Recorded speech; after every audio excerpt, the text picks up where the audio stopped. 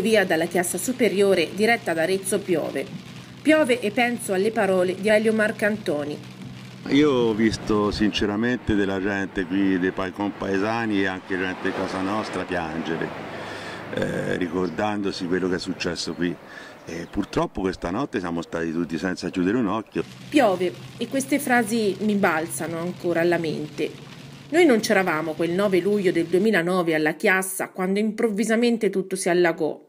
Ma deve essere stato davvero impressionante. Ci sono foto e video amatoriali a testimoniarlo, ma averlo vissuto deve essere stato davvero drammatico. Ed in questi giorni in cui il dissesto idrogeologico per mano dell'uomo porta danni, morti e feriti nelle città come Genova, Parma e Albinia, la rabbia e la voglia di lottare per la verità, perché vengano fatti lavori di messa in sicurezza e per il risarcimento dei danni subiti è ancora più forte. Siamo di nuovo tornati alla chiassa, purtroppo in questi giorni non si parla altro che di allerta meteo, alcune di queste purtroppo mancate come quella di Genova. Che effetto ha fatto vedere quelle immagini in televisione pensando a quello che è accaduto qui qualche anno fa? Ma io ho visto sinceramente della gente qui, dei compaesani e anche gente di casa nostra piangere eh, ricordandosi quello che è successo qui. E purtroppo questa notte siamo stati tutti senza chiudere un occhio perché eh, il rischio idrogeologico è addirittura aumentato, ai lavori non è stato fatto assolutamente niente, dopo cinque anni non si è più rivisto assolutamente nessuno. Questa è purtroppo la situazione. E quindi stanotte siete rimasti svegli? Io guarda, ho pubblicato continuamente, anche, eravamo tutti in contatto anche via internet perché eh, con, dei temporali come forti e le fogne praticamente sono inesistenti. Noi abbiamo avuto quattro alluvioni in cinque anni, ovviamente non è che si può dormire, insomma, questo dopo è andata bene che eh, a determinate ore ha smesso, poi ha ripreso, ha smesso e poi ha ripreso. Poi comunque non è un problema come anche l'alluvione scorso, non è stato un problema meteorologico come ha detto anche la regione toscana, non c'è nessuna causa naturale, le cause sono da ricercare lavori sbagliati, lavori fatti male, nessuno ha controllato e mm, hanno definito tutti i cittadini Vaillant numero 2 eh, questo, questo è, qui siamo sempre sulle solite cause eh, dei soliti politici, assessori, sindaco e compagnia bella che non fanno assolutamente niente e quello che fanno fanno sbagliato e non rimediano. Più abbiamo avuto un altro problema che tutte le, le istanze, le denunce eccetera fatte alla magistratura e cose sono sparite state archiviate, è sparito tutto, nessuno ha aperto un'inchiesta, nessuno ha mai fatto mosso un dito, abbiamo una seconda interrogazione in Parlamento che è ferma da un anno e nessuno risponde. Nessuna risposta. Nessuna risposta. Ecco, mh, mm, ricordiamo quel, quel, giorno, che cosa è successo? Che, che giorno era, se lo ricorda bene? Il, il giorno era esattamente il, no, il, il 9 di luglio, era una domenica, con un sole spettacolare, bellissimo, il paese praticamente era vuoto, perché come io ho detto tante volte, come tutti hanno affermato sempre, eh, se questo evento fosse capitato due o tre ore prima, praticamente qui sarebbe contato qualche centinaio di morti. Perché qui abbiamo visto volare macchine, cassonetti, so esattamente, poi ce ne sono filmati girati in tempo reale che girano ormai, io li pubblico continuamente che dimostrano quello che è successo. Se succede questa cosa in un giorno diverso, come è successo a Genova, eh, che qui c'era tutta la gente in piazza della chiesa, visto quando escono di chiesa verso le mezzogiorno, la, la scuola, per carità, anche la scuola è stata centrata in pieno, ancora piena di fango. questo fra, fra virgolette, eh, qui si contavano tanti morti, insomma. C'è stato alcuni feriti che nessuno ci aveva detto che c'erano, però quando siamo riusciti a recuperare le denunce dei cittadini che erano state fatte sparire dal comitato finto, eh, praticamente abbiamo rilevato anche diversi ricoveri a pronto soccorso. Una dietro è spaccata una gamba, altre cose, cosa che qui non è stato mai detto, non c'era stato neanche un minimo ferito, niente però il, il, rischio era proprio di lasciarci le penne.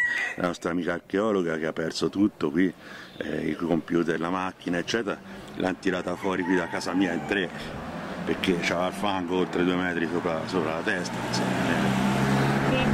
Siete fatti di questa vicenda, insomma, anche vedendo quello che succede anche nelle altre città italiane?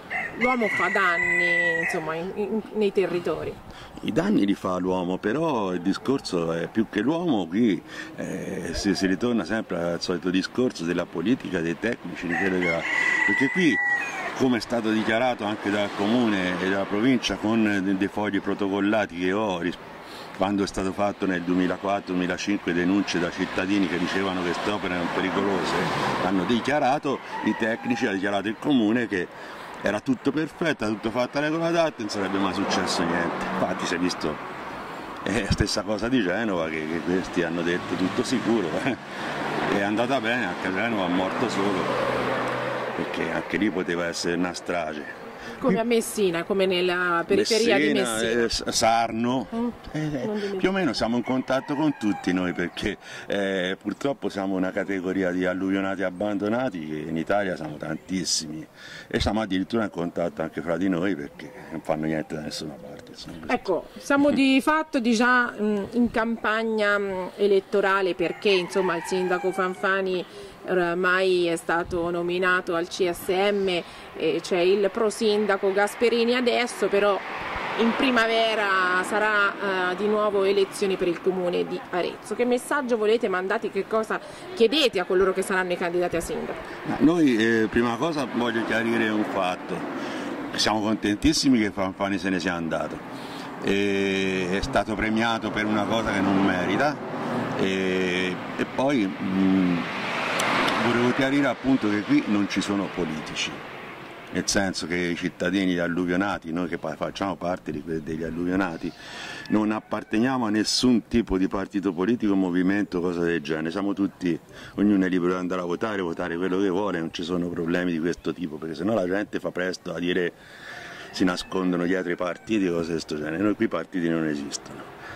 Eh, il messaggio l'abbiamo già inviato anche al pro sindaco e oggi addirittura quello che si è presentato per Matteo il Bracciali Matteo Bracciali, non lo so, non li conosco. Sicché, eh, che cosa gli avete scritto? Eh, li, li, scriveremo li, anche in campagna elettorale, li chiamiamo già da ora, vogliamo sapere cosa intendono fare per, per la gente danneggiata, per tutti i problemi che ci sono nel territorio. Oltre a questo vedo che ce ne sono tanti, insomma.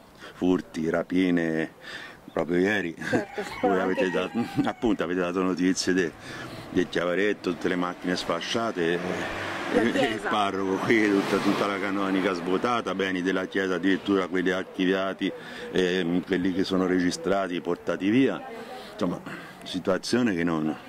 Poi gli eh, assessori ci dicono che va tutto bene, se va bene così, Questa, a me mi sembra proprio che non lo so, forse si sbaglia noi, ma...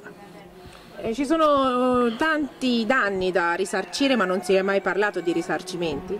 Mai più rivisto nessuno, mai risentito nessuno, assolutamente niente. niente. Ma i danni, di, di, noi abbiamo una prima stima fatta sulle denunce che erano, fatte, state, che erano sparite, che ora si trovano in mano alla Digos avevamo fatto una, una, una, stima su quelle denunce Rima che erano una piccola parte era, e siamo oltre i 2 milioni di euro di danni. E qui appunto mh, mm, ci sono molte famiglie in difficoltà spaventose e se, se fate un giretto vedrete che le case qui intorno, tutte, sono tutte in vendita. Perché? Eh, sono in vendita perché la gente non ce la fa andare avanti qui arriva, qui non è stato, lì a Cosa Genova hanno spostato le bollette di un, di un giorno, qui non ha fatto neanche quello. Qui è arrivato delle bollette stratosferiche fra corrente, acqua eccetera che è servita per ripulire le case.